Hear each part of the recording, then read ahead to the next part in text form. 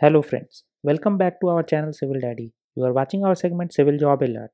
Today we are here with a new civil job opening in Ultratech Cement. So we will be discussing qualifications, job role, location and how to apply for this job in this video.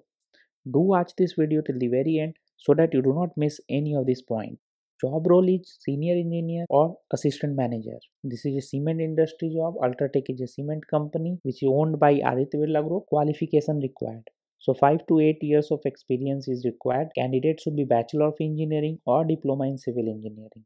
Job role and description. Candidate must have work experience in civil, working knowledge of layout, drawing, BOQ preparation, estimation and costing, checking of measurement and bill, etc.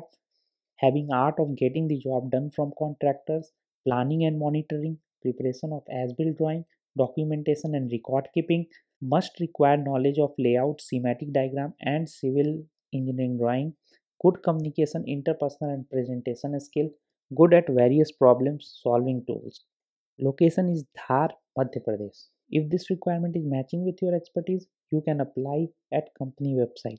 Link is mentioned in description. So thank you for watching this video. Do like, share, subscribe and hit the bell icon for constant updates.